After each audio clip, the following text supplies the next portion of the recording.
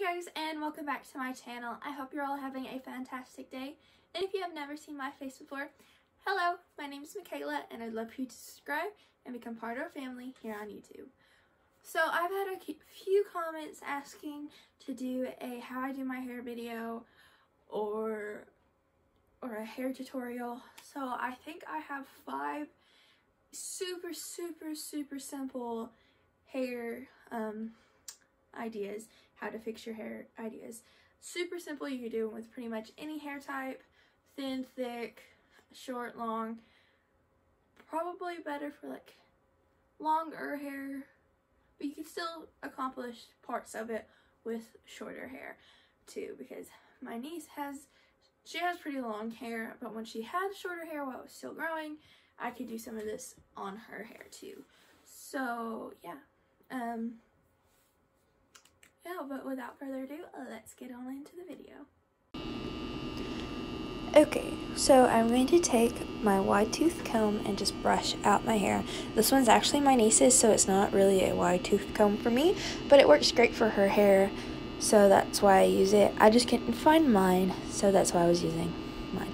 So first, I wanted to part my hair a little bit further than I normally would have, so it has the twist starting right up on top of my head. So I'm going to twist braid or just twist it down like I would a French braid.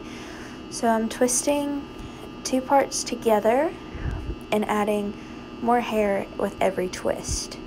And I'm going to do that until I get all the way down to the back of my head because you want it to be a continuous twist all the way down through your hair. Also, make sure, you'll see me do this in a second, but make sure that you keep both sides of your hair separate so you don't get too much hair on one side and not enough on the other. So you can see how the twists are just forming. They start small up on the top of your head, but as they work their way down, they become bigger. So since I'm done with this side for now, we will come back. I'm going to tie it off with a hair tie just to keep it where I want it. You could also put the end in your mouth if you wanted to, but I just tied it off. And so now I'm going to do the exact same thing I did on the other side to this side. But basically, it's just going to be a little bit looser because it's not as far up. And I did make sure to leave a few strands in the front for little wispies. And I tried to turn around here and then my camera almost fell. That's what that face was. So, sorry about that. I'm a drama queen when it comes to some things. But I'm going to keep twisting all the way down and around the back of my head to the other side where our first twist braid stopped. And I'm going to try to turn around here just a second so you can see I wasn't very good at this. I have to tell you that. I tried, but this is the first hair tutorial video I've done. So, but hopefully you can see what I'm doing. So once I get the twist all the way down and around to the back, I'm going to conjoin the two and start a three-stranded braid. So all I did is I took the two strands, twisted them a couple of times together, and then split it and put them all together and split them into three sections and I'm just going to braid it all the way down.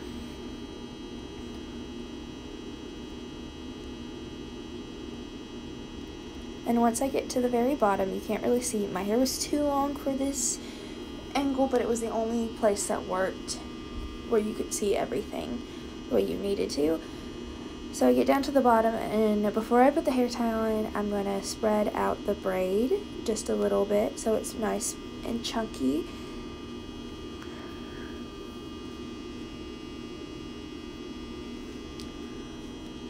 And then I'm going to add the hair tie.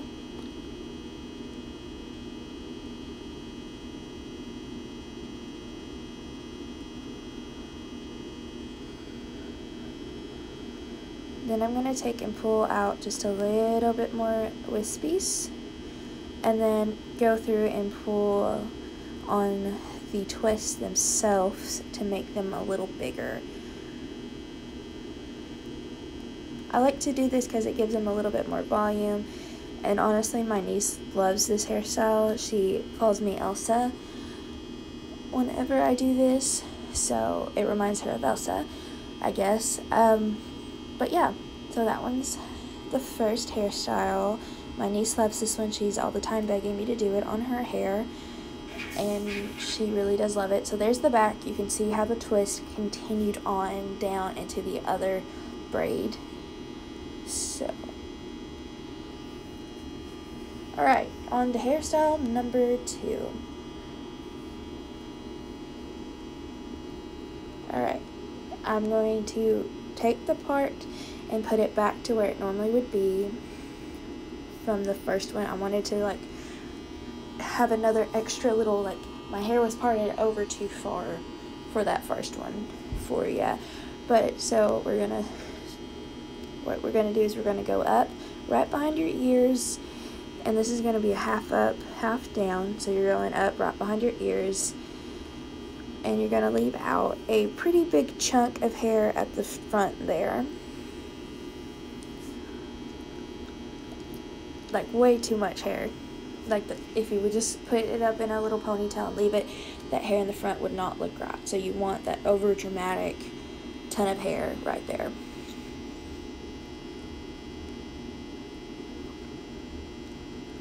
So I'm going to try to smooth my hair down as much as I possibly can.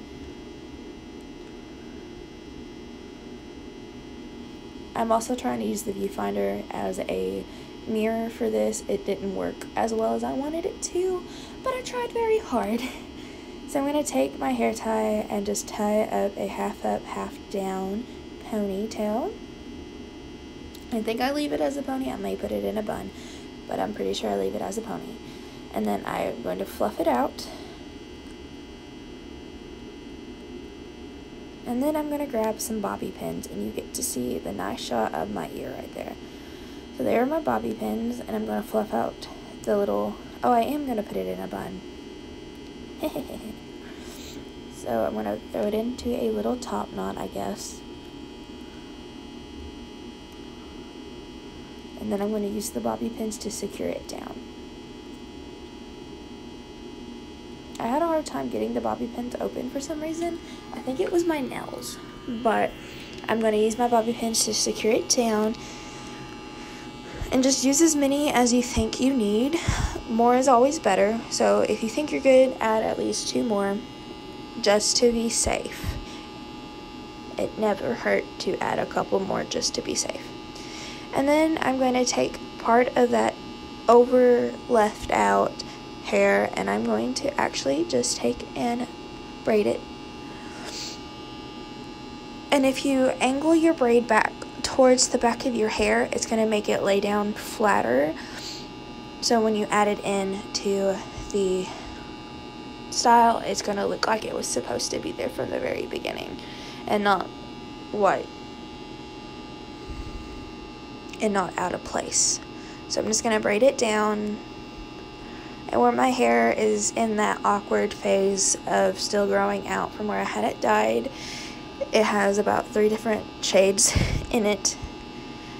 So now I'm going to take it and I'm going to bobby pin it up and under the bun on the top of my head. And that just creates the effect that the braid was there and running all the way through and into the bun. So in the back in just a second, I'm pretty sure I show y'all, but if I don't, I'll try to explain it. It goes up and then twists around the bun and up and under. So you can see the braid on the side and then on the back as it like morphs into the actual bun itself. So there you see, and then it cuts under the bun. And again with my faces, I honestly don't know what I was trying to do with my face other than smile. Alright, so on to hairstyle number three.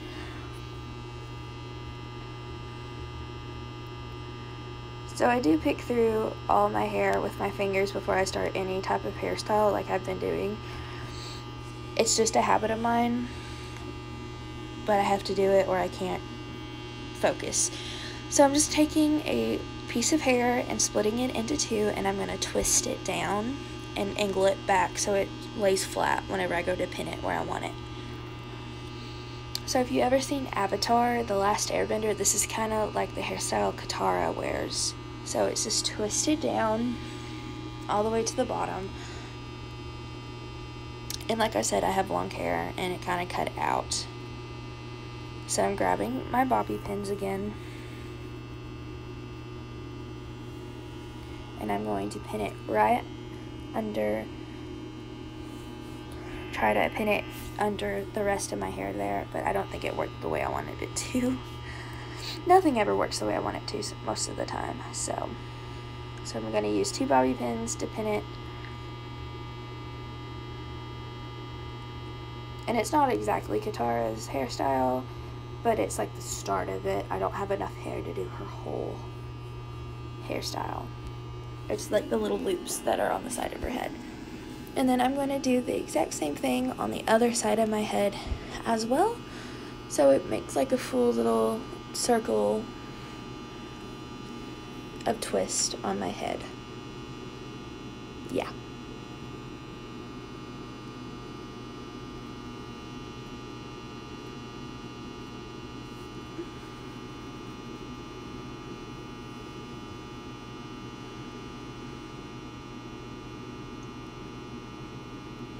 So I did twist this side just a little bit tighter because what the other side is the side that I part my hair to, so it has more hair.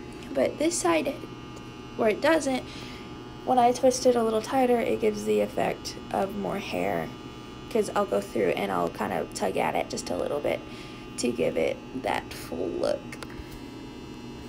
And I'm going to pin it in the back as well. So there's that look. I believe this is hairstyle number three. I'm, so I kind of had a tail that I forgot to tuck in in the back there but if you have a tail like that, just take it and flip it, and it should go away and be pointed down towards the bottom of your head. I for I didn't see that until editing this video. All right, this is hairstyle number five. No, four. This is number four. So this one I attempted to Dutch braid, but as you'll see, my Dutch braiding skills are not what they are supposed to be. Even though I do try very hard to Dutch braid, they just they lack. So I'm going to Dutch braid it down as far as I can. So this is actually like a Dutch braid and a French braid combo. I tried to keep it just a Dutch braid, but it didn't work. So it's more like a French braid with a little elements of a Dutch thrown in there and I'm going to get to a certain point and I'm going to stop and I'm going to pin it. You'll see that in just a second because I don't like these big chunky braids unless I'm doing a full braid where all my hair is in a braid to continue for a while. I like them just to be on that one side with so far back and pinned. And then I have little tendrils of wispies pulled down in the front to make a little bit looser feel.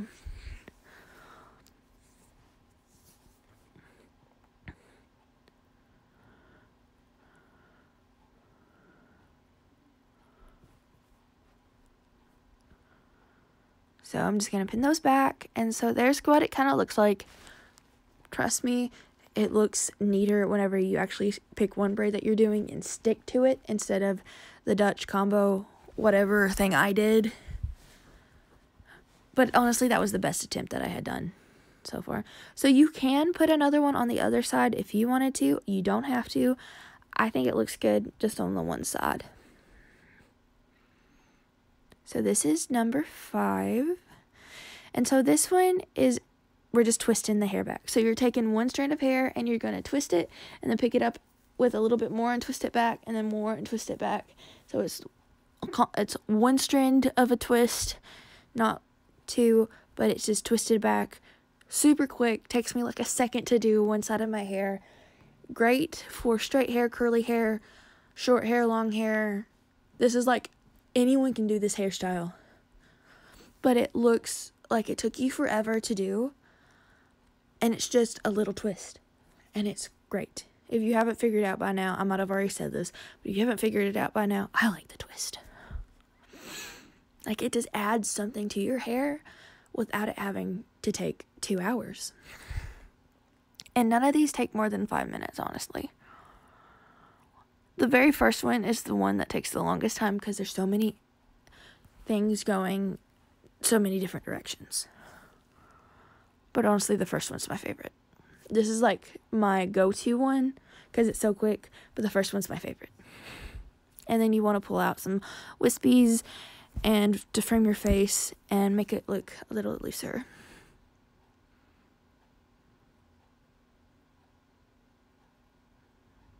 Alright, so this is number six. It's a bonus one, and it's kind of self explanatory. All you're doing is swishing your hair to the side, and you're gonna pin it at the back of your head to keep it on that one side. So, this is a, another good one for you want to look like you tried with your hair, but you don't want it to take two hours. And then you can add like a little itty bitty braid through it to a couple of itty bitty braids if you wanted to, even. But it makes it look like you took the time and effort to do your hair without actually having to take the time and effort to do your hair. So all you're doing is adding like three or four pins. You're gonna need to use more than two for this. Trust me, even if you have like that thin hair that works with two, you probably want to use more. And you could also use like a decorative pin and then pull out some wispies on the side.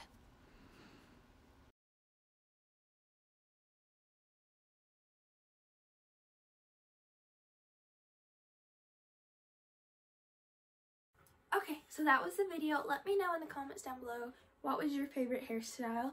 Also, if you have any ideas for future videos that you would like to see, make sure you leave those down in the comments as well. And before you go, make sure you subscribe and hit that like button if you haven't already. And I guess until next time, bye!